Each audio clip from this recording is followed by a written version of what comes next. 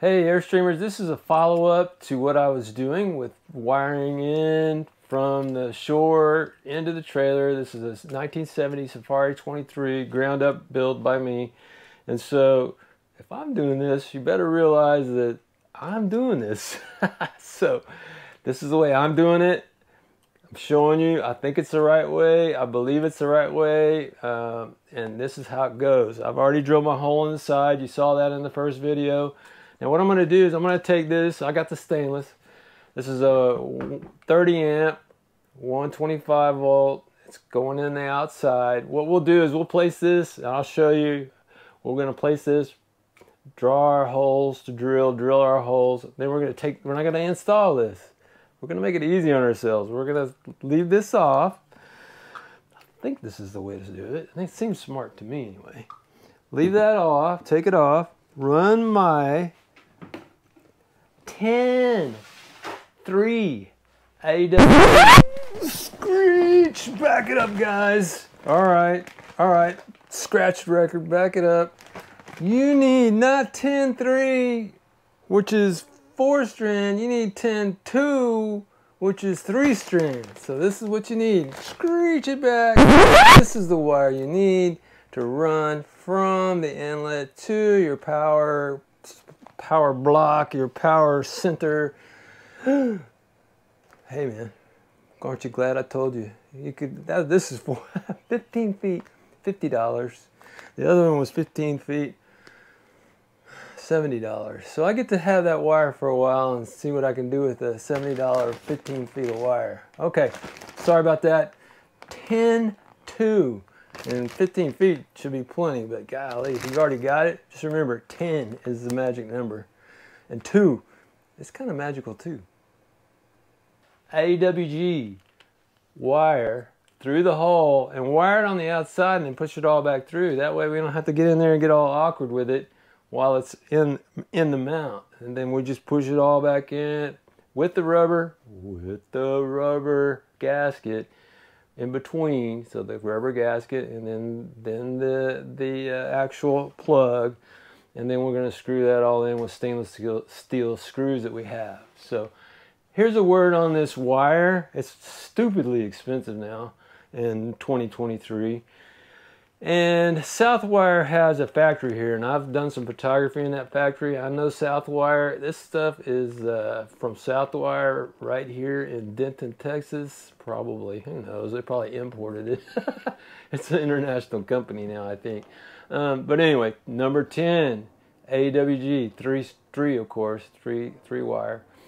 And the reason for that is in the instructions for the plug, if you use anything smaller than that, it's going to create a, a roadblock right there at the plug and generate heat. If you generate heat, you generate smoke, you generate smoke, you generate fire. So you don't want to skimp coming into the trailer.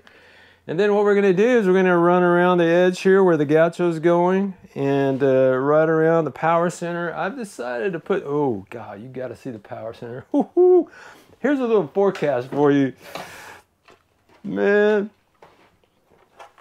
this guy is pretty wild, don't you think? I mean, it's pretty complex. So this is it. Um, the power goes in, the power comes out. It comes out in, in 12 volt converted converter.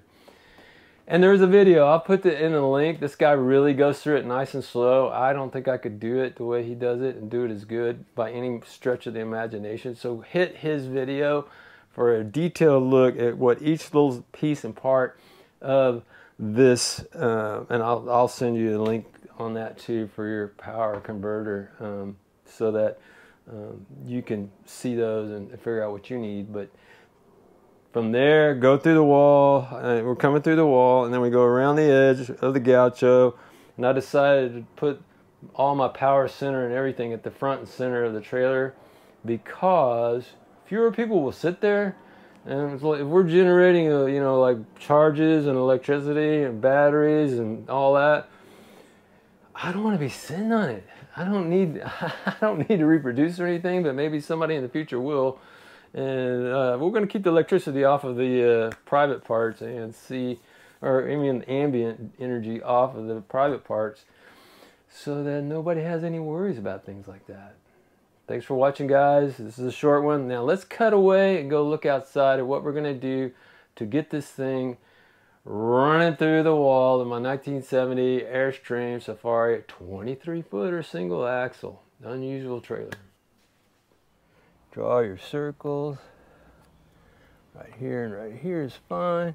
You know, one thing I usually include on all my intrusions into my trailer is uh, backing plates to the screws made out of aluminum.